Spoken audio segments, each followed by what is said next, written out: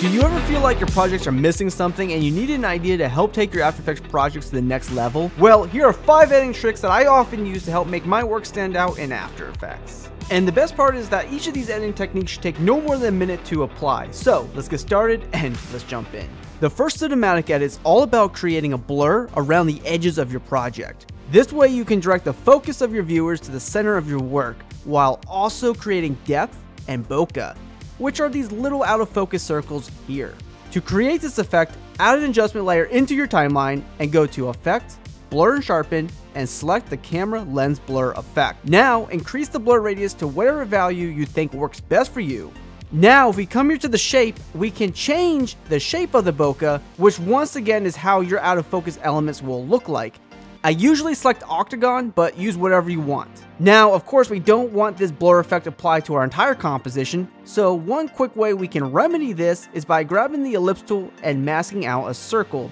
Then, just increase the mask feather, and that's how to create a cinematic blur for our first edit. If blurring is not a possibility for you, for our second cinematic edit, I would suggest taking a look at applying CC Vignette to your final project. This is a very simple effect to help center your audience's eyes.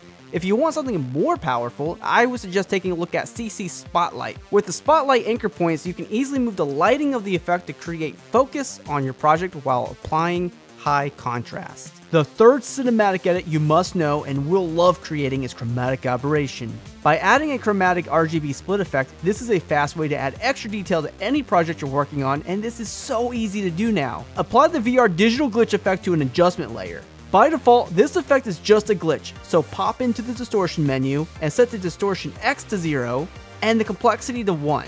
Now you can adjust the color distortion and even animate the color evolution to dial in your RGB effect. Test out this effect on your edits and see how it looks.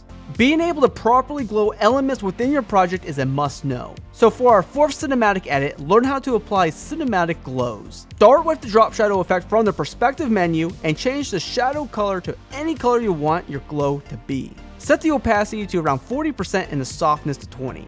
Then duplicate the effect and set the softness to 90. Now we can apply the glow effect. Set the intensity to about 2 and set the glow colors to A and B colors. Then set the color looping to sawtooth B greater than A. Lastly, go to color A and set it to your drop shadow color. Now we can duplicate the glow effect and increase the glow radius to around 100. Then duplicate the glow effect one more time and reset it. Lastly, if you want, apply the CC radial blur effect and set it to a centered zoom. And increase the amount until there's a little blur around the edges. This effect is of course optional, but by applying this effect stack, you can easily create beautiful glowing effects. The last cinematic edit is all about texturing and adding overlay assets to your projects. I have my scene here that is ready to go, but I want to add something more to it. So I have this texture and I will apply it to my edit. We can set the blend mode to add, screen, overlay, and even soft light. Just experiment with the blend modes.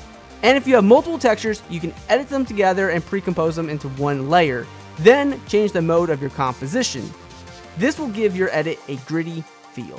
Speaking of building your library of cinematic edits, if you need to push your After Effects and Premiere Pro work to the next level, be sure to pick up our motion graphics pack where you can instant import titles, logo animations, and many cool templates to save you endless time. You can easily change colors, text, and all parameters to fit your project needs. So be sure to check the link below to pick up your free template pack and always be creative.